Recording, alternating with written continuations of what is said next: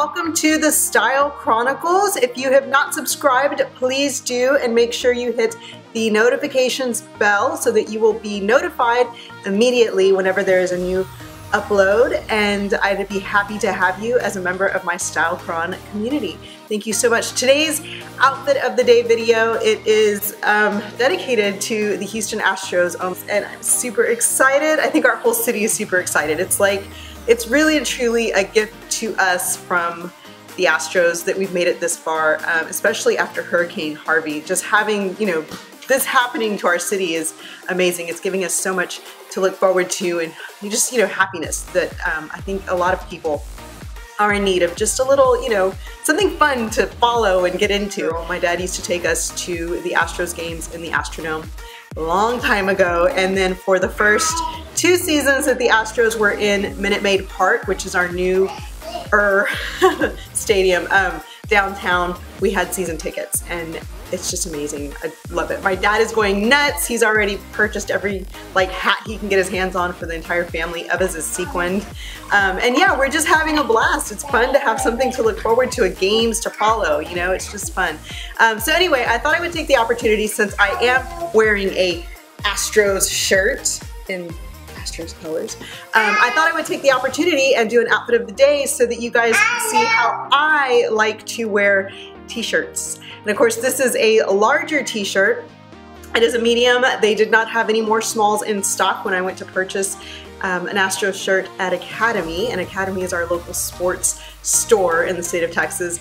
Um, but they didn't have any more smalls, and this is the one I wanted. I wanted the one with the Texas emblem on it um, that had the heart or the star and you know the original Astros colors. So this is the one I wanted. I settled for a medium, and that's okay because these kind of t-shirts that you get, whether it's like a concert t-shirt or a political t-shirt or like something for school or like a marathon t-shirt, just these kinds of t-shirts, oversized t-shirts are very easy to wear stylishly if you really want to. So I'm gonna show you two of my favorite tricks for wearing a oversized t-shirt um, and how I do it. The other ways that I absolutely love, and it's way too hot to even prance around outside with a jacket on, is with a blazer. A blazer instantly adds that bit of sophistication to an outfit and it does it you know extremely well with just an oversized shirt.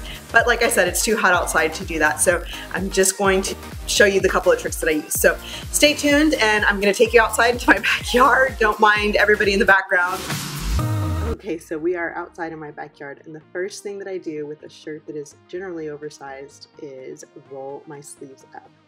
This instantly just gives your outfit a good fit. It makes the sleeve fit your arms a little snugger, and it does away with like the excess fabric around your shoulders.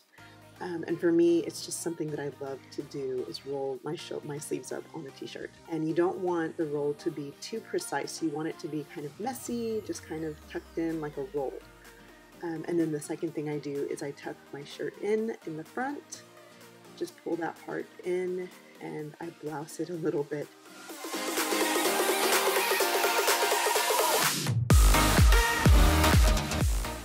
And that just makes a very baggy t-shirt a little bit more fitted, just a little bit neater looking, I think. Um, a little bit more stylish, so enjoy my awkward modeling. And uh, when you wear shoes, I think that are a bit unexpected, it makes it look a little nicer too. Um, so definitely not sneakers, these are some slides that I have.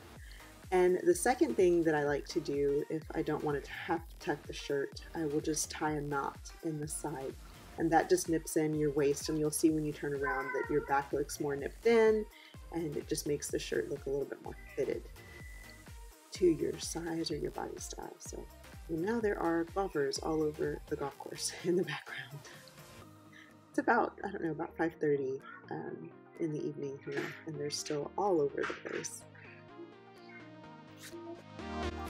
Alrighty, so I hope that gives you some ideas as to what to do with an oversized shirt. I will tell you, I think I mentioned it earlier, but I will tell you that sewing some little bitty stitches to help keep this up is key to a lot of um, a lot of wearing it easily, I guess you would say. Um, just, you know, keeping it neat. So definitely do a stitch here and a stitch here and it just keeps it up, um, you know, rolled up so it's not constantly rolling down. You're constantly having to mess with it. My face, I have on the Anastasia Beverly Hills Subculture palette. I do have on Fudge and New Wave with a little bit of the um, Adorn shade, the bronze shade on the inner corners. My blush is MAC's Blush Baby, and my lipstick is a new lipstick from e.l.f. Cosmetics. Um, I don't know the shade, but I will put it down below so you guys can read it. It is a really pretty, kind of a bright red. It's a vibrant red. On my nails is Essie's Midnight After School Blazer. Oh, thank you, Eva. She went and got it for me. It's called um, After School Boy Blazer. That's what it's called by Essie, but this is, it's a new lipstick from Essie. It's called Red Siren Screen from the e.l.f.